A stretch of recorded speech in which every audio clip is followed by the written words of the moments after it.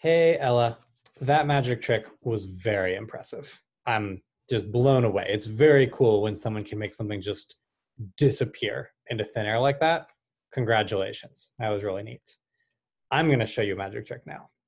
I'm going to take this picture of my friend Colin and turn it into a picture of you.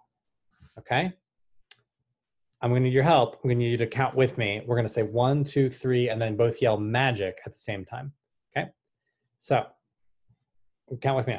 One, two, three, magic.